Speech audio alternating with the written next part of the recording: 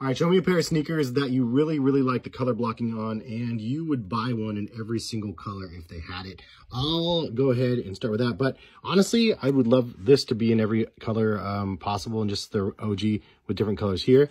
And then obviously we do have this one as well. We're working on it. Nike's bringing more and more, Jordan Brand is, but uh, I'd love to see this in every single color as well.